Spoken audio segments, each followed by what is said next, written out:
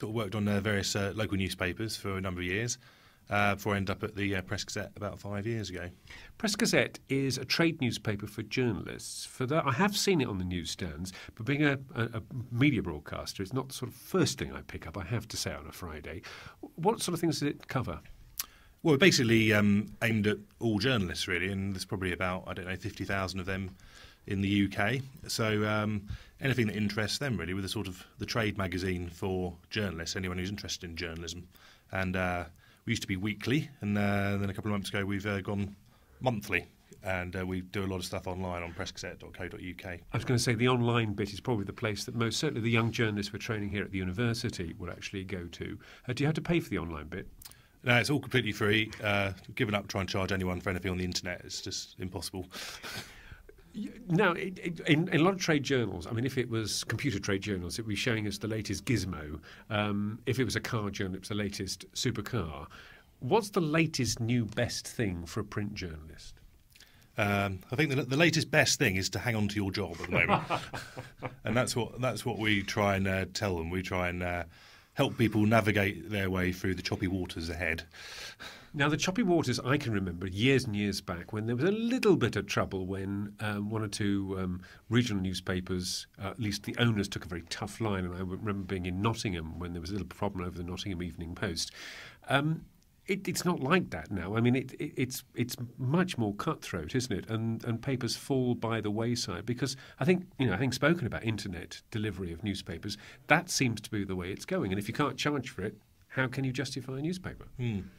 Yeah, I mean, there's not really um, a great deal of industrial problems because I think a lot of journalists really understand that they have to change very quickly uh, if they're going to kind of survive. Um, the sort of problems um, affecting the journalism industry are kind of uh, a double whammy in that um, there's a structural change going on in society in the way people uh, consume media and, and, don't read newspapers in the way they used to.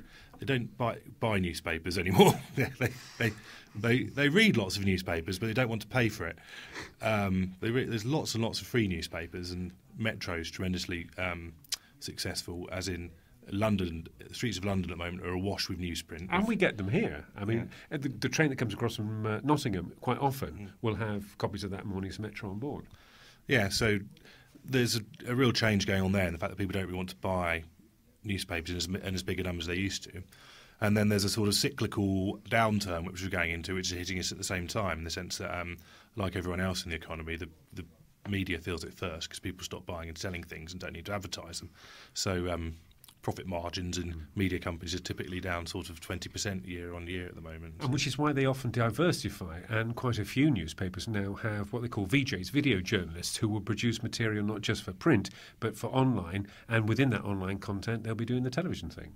Yeah, I mean, that's that's the sort of interesting thing about being the editor of a magazine about press about journalism at the moment because it's um, it's changing very very quickly and um, uh, daily newspaper journalists will also um, record broadcast bulletins and podcasts and uh, video reports and also write blogs which are sort of a bit different from um, your kind of uh, traditional uh, print news stories so it's, it's all very different opinion has crept in, opinionated journalists as against journalists who still work with that dispassionate third party, well researched independence that I don't think is around as much now as it used to be.